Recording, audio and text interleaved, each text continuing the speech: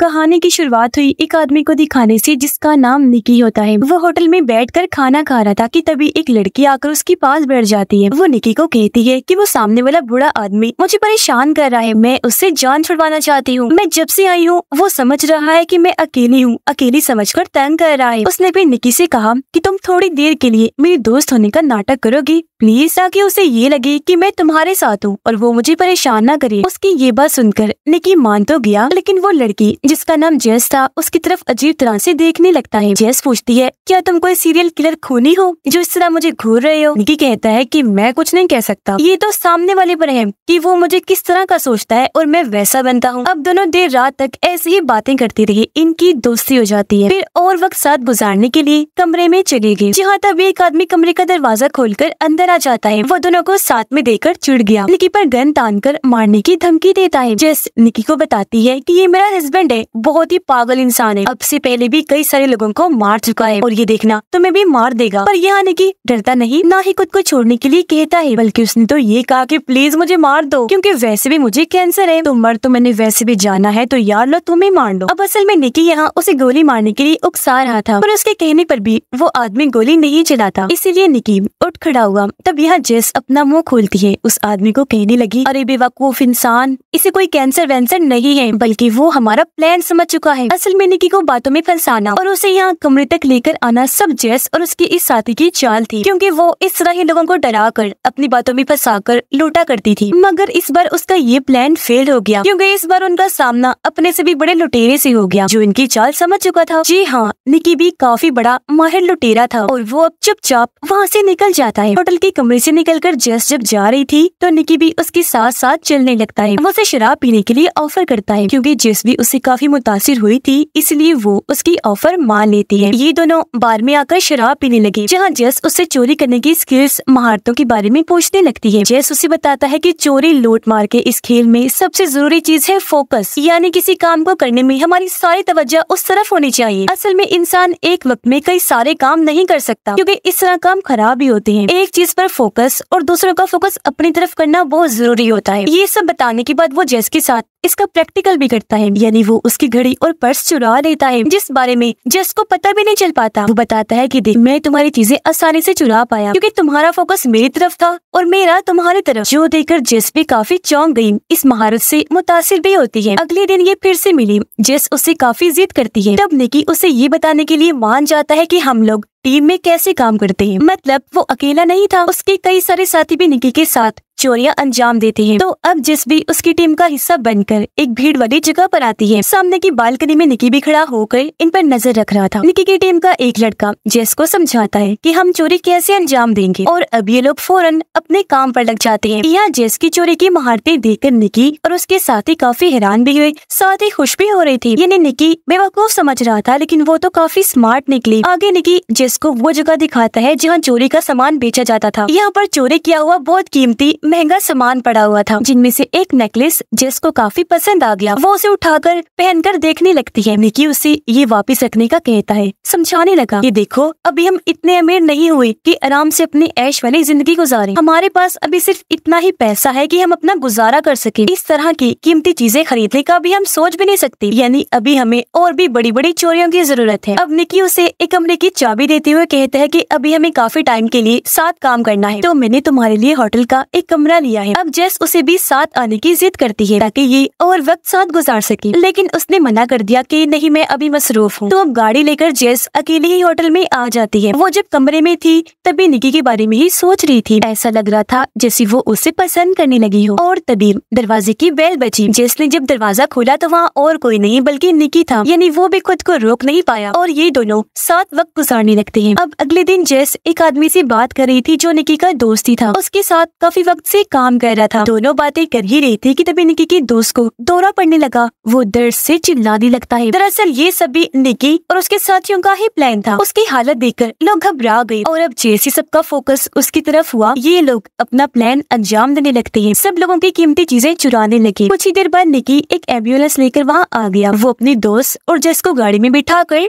वहाँ से निकल जाता है। रात को निकी और उसके सारे साथी चोरी करके पार्टी कर रही थी। सब बहुत खुश थे। निकी उन्हें बताता है की इस बार हमने अपना बहुत बड़ा टारगेट हासिल किया है। वन मिलियन डॉलर का। उसका एक साथी निकी को सारे पैसे देते हुए कहता है की इन पैसों को संभालने की ज़िम्मेदारी तुम्हारी है। और हाँ जुएबाजी से दूर रहना। अगले दिन निकी और जेस एक मैच देखने के लिए स्टेडियम में आती हैं। अब जब एक लड़की अपनी सीट से उठकर वहाँ से जाने लगी तो जेस निकी से ये शर्त लगाती है कि इस लड़की को जाते हुए तकरीबन आठ लोग देखेंगे। निकी कहता है कि नहीं, आठ नहीं तीन लोग देखेंगे। अब तभी पीछे बैठा एक अमीर आदमी उनसे कहता है कि मेरे हिसाब से उसे पाँच लोग देखेंगे। लेकिन उसे सात लोगों ने देखा और क्योंकि जिसका अंदाज़ा काफ़ी ठीक था तो ये शर्त वो जीत जाती है। और अब निकी उस अमीर आदमी के कहने पर ग्राउंड में खेल रहे प्लेयर्स पर शर्त लगाने लगता है। पर दो बार निकी उस आदमी से शर्त हार जाता है। इसलिए अब निकी उससे दस हज़ार की शर्त लगाता है। वो अमीर आदमी को कहता है की अब जो भी प्लेयर बॉल को पकड़ने की कोशिश करेगा उससे कैच छूट जाएगा। जबकि अमीर आदमी कहता है कि नहीं, वो कैच पकड़ लेगा। और अब कुछ ही देर के बाद एक प्लेयर दूसरे की तरफ़ बॉल फेंकता है। तो उसने कैच पकड़ लिया था। यानी कि निकी, ये शर्त भी हार गया था। अब तक निकी उस अमीर आदमी से पाँच हज़ार डॉलर से भी ज़्यादा पैसे हार गया था। ये देखकर जिसको परेशानी होने लगी, वो निकी को कहती है की चलो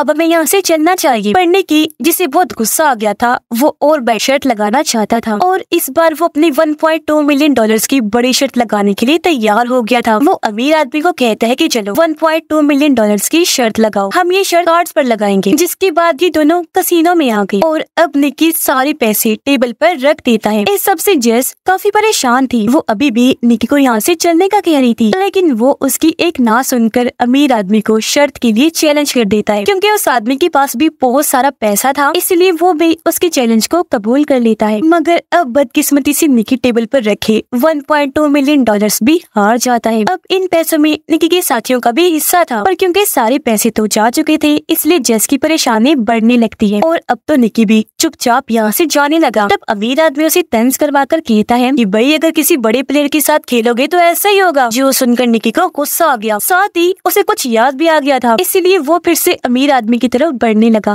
कहता है कि अब मैं डबल पैसों की शर्त खेलना चाहता हूँ, यानी two point two million dollars की। हैरान कुन बात ये थी कि अभी उसके पास एक रुपया भी नहीं था, मगर वो फिर भी शर्त लगाने की जिद कर रहा था। लेकिन अमीर आदमी को कहता है कि तुम ग्राउंड में खेल रहे किसी भी प्लेयर का नंबर नोट करो। और मैं ये अंदाज़ा लगाकर तुम्हें बताऊँगा कि तुमने किस प्लेयर को अपने दिमाग में सोचा है। पर इसके लिए अमीर आदमी ने मना कर दिया। वो कहता है कि मुझे तुम पर यकीन नहीं निकी कहने लगा कि चलो मैं नहीं, मेरी दोस्त जस उस प्लेयर के बारे में बता देगी। अब निकी का इतना पागलपन देखकर अमीर आदमी भी मान जाता है, जबकि जस अभी भी उसे समझाने की कोशिश करने लगती है। स्टेडियम में जाकर अमीर आदमी ने एक प्लेयर का नंबर नोट कर लिया था। तब आकर वो जेस को कहता है कि जाओ और बताओ कि मैंने किस प्लेयर को अपने दिमाग में सोचा। तब निकी जेस को समझाता है कि अभी बाहर जाओ और बस प्लेयर के बारे में सोचकर मुझे बता देना। जेस ने ऐसे किया। वो दूरबीन के ज़रिए काफ़ी देर तक प्लेयर्स को देखती रही, पर उसे कुछ भी समझ नहीं आती। इस दौरान अमीर आदमी निकी को कहता है कि अगर तुम चाहो तो अभी भी ये बेट वापस ले सकते हो, पर वो मना कर देता है, क्योंकि ये रिस्क वो लेना चाहता था। और अब कुछ ही देर बाद जस प्लेयर की तरफ़ देखकर काफ़ी हैरान रह जाती है, क्योंकि वहाँ पर निकी का दोस्त भी खेल रहा था, जिसने पचपन नंबर की टी शर्ट पहनी हुई थी। और अब जस बिना हिचकिचाई कह देती है की पचपन नंबर वाला ही वो प्लेयर है,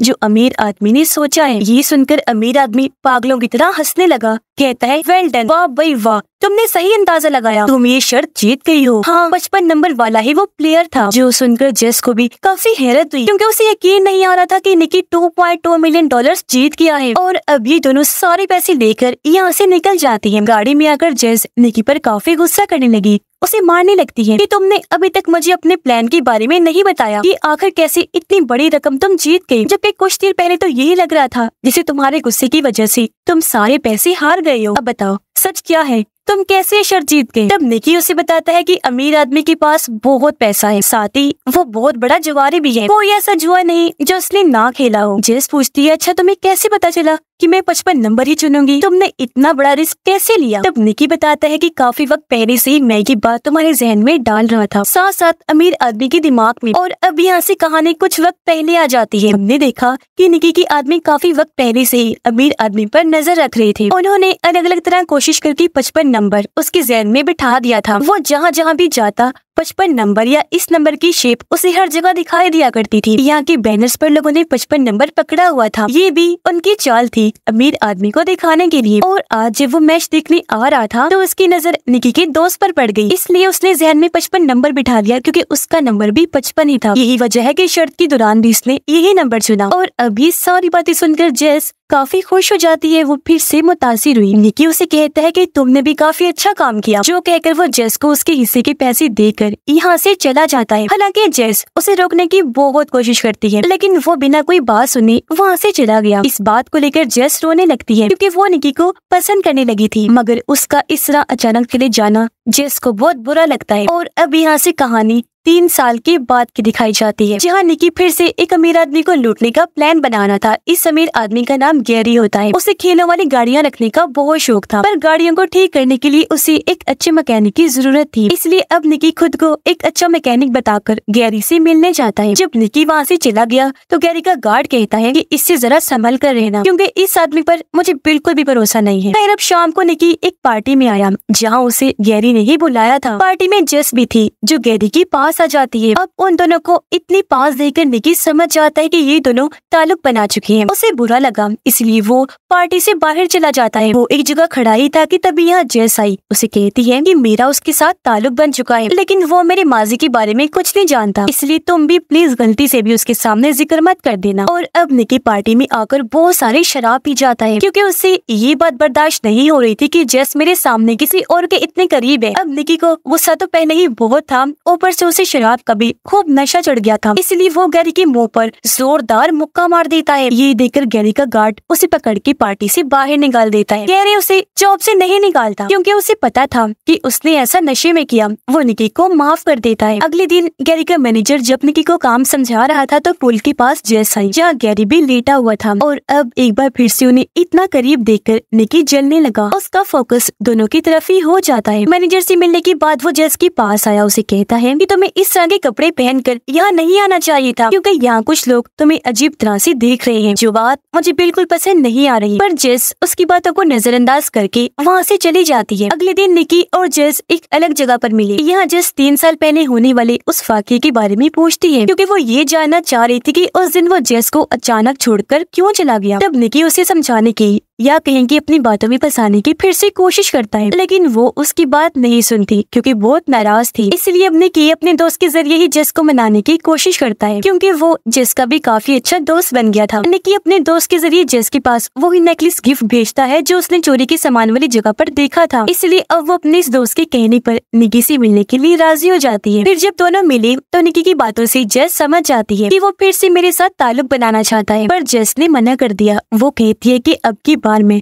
तुम पर भरोसा नहीं कर सकती। इतना कहकर वो यहाँ से निकल जाती है। अब उदास होकर निकी जब होटल में वापस आया तो जस उसके दरवाजे पर पहले से ही बैठी हुई थी। सच तो ये था कि वो आज भी उसे पसंद करती थी, इसीलिए खुद को यहाँ आने से वो रोक नहीं पाई। और अब ये दोनों कमरे में आकर फिर से एक साथ वक्त गुजारने लगते हैं। अब अगली सुबह बगैर बताए गैरी का गार्ड निकी से मिलने आ जाता है। वो दरवाज़ा खटखटाता है तो निकी फ़ौरन जाकर दरवाज़ा खोल देता है। अब गार्ड को उस पर शक हो रहा था। उसे एहसास हुआ जैसे निकी के साथ कमरे में और कोई भी मौजूद है। इसीलिए वो कमरे में आकर हर तरफ़ तलाशी लेने लगा। पर यहाँ उसे कोई भी नहीं मिलता, क्योंकि जेस गार्ड से बचने के लिए साथ वाली बालकनी में जाकर छुप गई थी। अगले दिन गैरी का मैनेजर काम के बदले उसे ढेर सारे पैसे देता है। अब यहाँ हम निकी को अपने लैपटॉप में कुछ ट्रांसफ़र करते हुए देखते हैं, जो असल में गैरी की खुफिया डिज़ाइन थे। और अब इन डिज़ाइन को चोरी करने के बाद निकी गैरी के क्लाइंट्स को ही कम पैसों में वो बेच देता है। जिसके बाद निकी वो सारे पैसे लेकर जेस के साथ यहाँ से चले जाने का प्लान बनाता है। और अब जब ये दोनों गाड़ी में बैठ बैठकर यहाँ से निकल रही थी तो तभी गैरी का एक आदमी भी अपनी गाड़ी से इनका पीछा करने लगता है। वो अपनी गाड़ी को ज़ोर से इनकी गाड़ी में लाकर मार देता है, जिससे दोनों बेहोश हो गए। अब जब दोनों को होश आई तो वो खुद को कुर्सी से बंधा हुआ देखते हैं। उनके सामने गैरी था। असल में गैरी को पहले ही पता चल चुका था कि निकी यहाँ मुझे लूटने के इरादे से आया है। इसीलिए काफ़ी पहले से उसने अपने आदमियों को निकी के पीछे लगा दिया था, जो दिन रात उस पर नज़र रख रहे थे। पर यहाँ गैरी को ये समझ नहीं आती कि इतनी सख्त सिक्योरिटी होने के बाद भी निकी ने पासवर्ड का पता कैसे लगवा छुपा लिया उसने जब इस बारे में पूछा तो निकी जवाब देता है कि जब मैंने तुम्हें जेस के इतने करीब देखा तो मैंने भी उसके करीब जाने का फैसला किया। मैंने जेस को वो नेकलेस जो गिफ्ट भिजवाया था,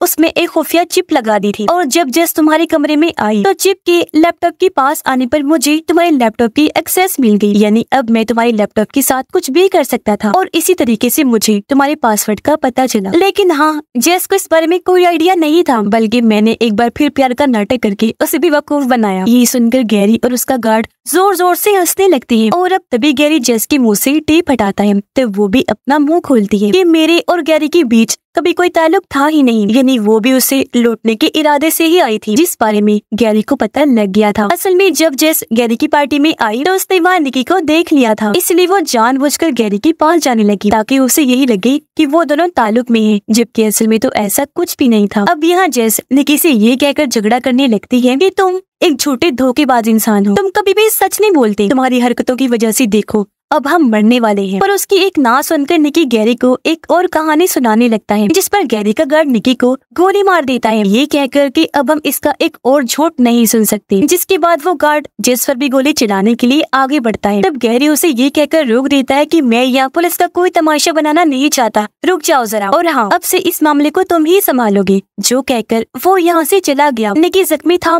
इसलिए उसकी साँसें रुकने लगती हैं। तब गार्ड जल्दी से आगे आया। एक पंप से उसकी गोली निकाल कर कहता है कि गोली दिल पर नहीं लगी, तुम बच भी जाओगे, जल्दी ठीक भी हो जाओगे। जिसके बाद यहाँ, जिसको भी पता चल गया कि गैरी का ये गार्ड और कोई नहीं, बल्कि निकी के डैड है, जो अब निकी की गोली निकाल चुके थे। वो फिर जस की मदद से सारे पैसे लेते हैं और जख्मी निकी को लेकर हॉस्पिटल की तरफ़ चल दिए। ये गाड़ी में थी, जहाँ जस को बातों ही बातों में पता चल गया था कि निकी ने गैरी को लूटने की प्लानिंग तीन साल पहले ही बना ली थी। तो तब से उसकी डैड गैरी के लिए गार्ड का काम कर रहे थे, ताकि वो अपना भरोसा बना सके। अपने डैड की मदद से उसने गैरी की पासवर्ड का पता लगवाया था। यानी उस टाइम निकी ने झूठ बोला था कि मैंने ये काम जेस के ज़रिए किया। निकी के कहने पर ही उसके डैड ने गोली चलाई, क्योंकि अगर वो ऐसा ना करती तो गुस्से में गैरी ही दोनों को शूट करके मार देता। और अब जल्दी ये लोग हॉस्पिटल पहुँच जाते हैं। उसकी डैड और जेस उसे अंदर ले जाने लगी। अब निक के किए की सजा उसे मिल भी चुकी थी। और क्योंकि जेस भी उसकी जैसी ही थी, इसलिए माफ़ कर कर उसे अपना लेती है। और अभी दोनों ऐसे ही अपनी महारतों से चोरियाँ करते रहेंगे और अपनी ज़िंदगी काफ़ी अच्छे से गुजारेंगे। यानी अब इनका सिर्फ़ गुजारा ही नहीं होगा, बल्कि आराम से ऐश वाली ज़िंदगी जी सकते हैं, जो दोनों का ही सपना था। और इसी के साथ ही इस फ़िल्म की कहानी भी यहीं पर खत्म हो जाती है।